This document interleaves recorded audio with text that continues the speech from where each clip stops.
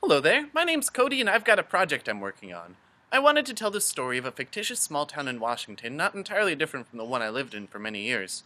Fort Hope is a collection of short stories showing the best and worst of its town's residents. Its charming facade and seedy underbelly. The story deals with a lot of serious issues, but never gets unbearably dramatic. The bulk of the first book is a comic following 13 year old Jamie. While he's off pretending to fight dragons in the woods behind his house, he stumbles upon a dead body, throwing the good people of Fort Hope into turmoil.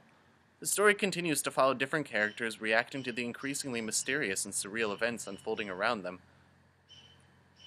The other characters' stories are told through letters, journal entries, sketches, online chats, and other mediums. It's my belief that every character not only has their own voice, but their own design aesthetic.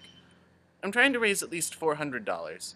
That'll be enough money to print 100 full color, 36 page, fantastic copies of the book. It'll also fund the other rewards I promised, like t shirts and art prints and anything else that you see over there. The more money that I raise, the better the book will look.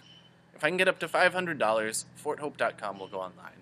$600 and I can make hand silkscreen covers for the book.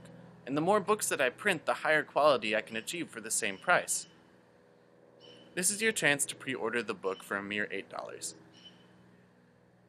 You can look over to your right for a lovely list of rewards at every price level. Down there is some more info on the book and maybe even a blurb about myself. I'm really excited to make this happen, and I hope you are too. Thanks.